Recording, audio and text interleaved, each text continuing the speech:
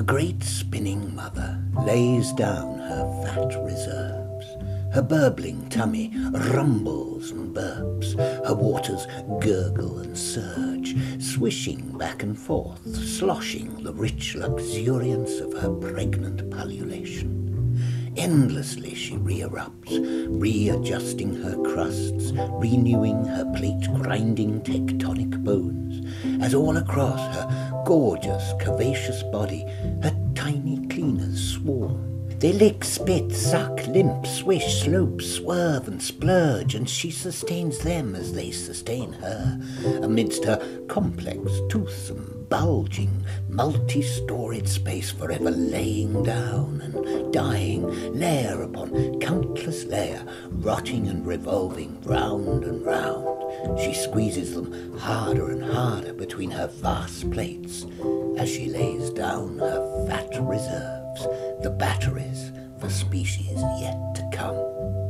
And in these great subterranean seas of ooze, carbon atoms wait in humming droves for their next time to come around.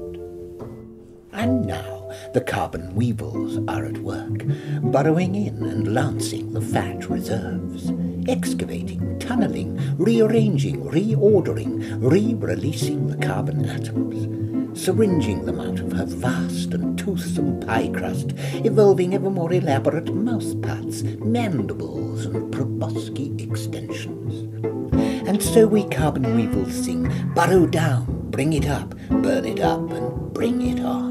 Burrow down, bring it up, burn it up, and bring it on. Now let's zoom in and observe our evolution. At the 2007 shooting of the next frame, there were precisely 6,713,008,180 carbon weevils alive on Earth. Eleven years later, that's now 7,641,257,100 precisely. If every single carbon weevil was herded together, then rolled up into a single squidgy ball, we would only be this big next to the Earth. Our collective sperm would fit into a matchbox, and our eggs into an egg cup. Fade to black, fade up. Let us now observe our life cycle. The carbon weevil starts out as two distinct microbial life forms, a sperm and an egg. We rapidly grow into an adult carbon weevil in appearance much like a forked worm.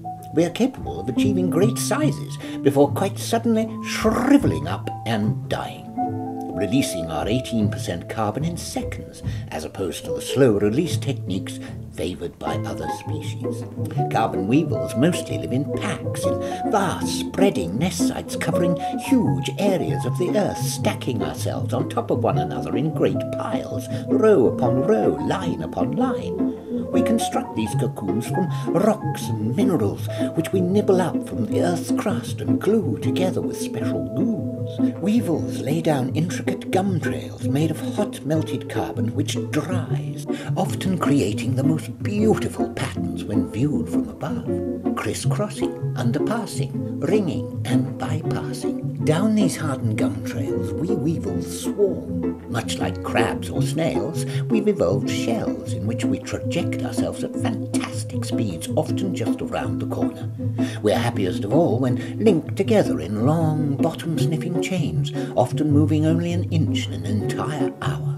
These highly developed carbon rituals are regarded by many as the pinnacle of carbon weevil social interface. We have evolved to traject ourselves in herds into the air, inside tubes which travel at huge speeds across huge distances, so we can lie in rows roosting ourselves or conglomerate in massive pan-global hot air sessions before catapulting ourselves home a few days later.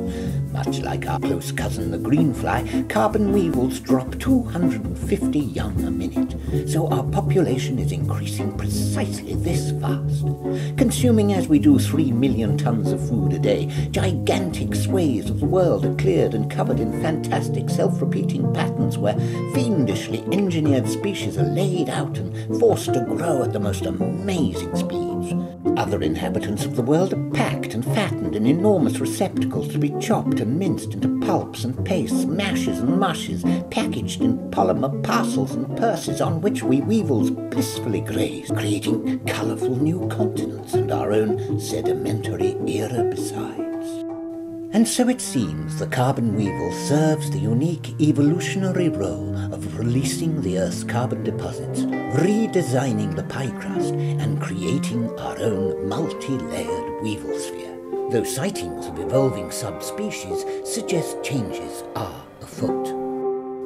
We are only at the beginnings of understanding our remarkable and inexhaustible species, and our unstoppable inventiveness never ceases to astound us. Suffice to say that such is the vast time scale of evolution that we'll certainly never know what happened next before we too became swallowed, like so many before us, into those vast, self-regulating memory banks of the great spinning mother.